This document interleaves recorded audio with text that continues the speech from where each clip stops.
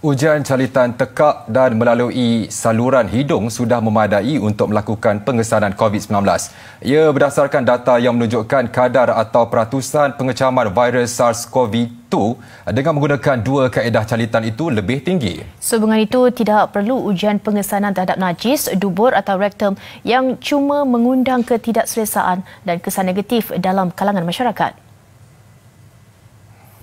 Memetik laporan berita harian pakar virologi dari Universiti Sains Malaysia USM, Profesor Madya Dr. Yahya Mat Arif berkata, prosedur yang digunakan ketika ini juga tidak terlalu membebankan. Mengikut data kadar pengecaman virus SARS-CoV menerusi caritan nasopharyngeal dan caritan tekak adalah 88%. Menurutnya lagi, berdasarkan kepada kadar peratusan pengecaman ujian calitan nasopharyngeal atau hidung dan tekak sudah memadai untuk tujuan saringan. Sebelum ini, seorang doktor kanan di Hospital Yuan Beijing, China, Li Tongxing berkata teknik calitan di dubur boleh meningkatkan kadar pengesanan mereka yang dijangkiti COVID-19. Dakwanya virus berkenaan tahan lebih lama di bahagian itu berbanding saluran pernafasan.